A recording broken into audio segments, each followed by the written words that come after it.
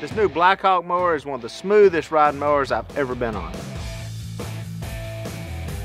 Really, it's just effortless, uh, especially going around corners, uh, going around shrubs. It's, uh, you know, I've been driving these things for years and uh, this may be the smoothest one I've ever driven.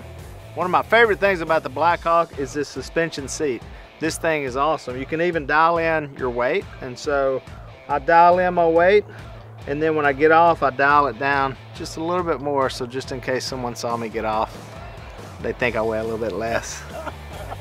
Now this thing's got plenty of power. You can mow right through this thick Louisiana grass and you still keep your speed up. There's another cool feature here, it's the discharge chute. Now, it's the flapper thing that comes over so you don't want to blow your grass all over your cars or anything else. Now I can keep both hands on the sticks and I can control the chute with my foot.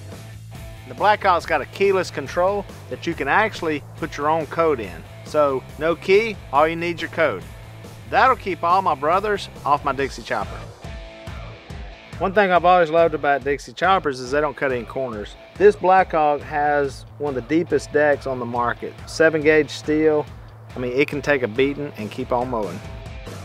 Man, I've been using Dixie choppers for as long as I can remember. I like them because they're fast and the quality is always high. And I feasted my eyes on the new Blackhawk. Wow, what a machine. Um, this thing does exactly what I need it to do. You can tell right away it's a totally different design and it is flawless from the seat to the performance, still has the speed that I need. It's just a well-crafted machine.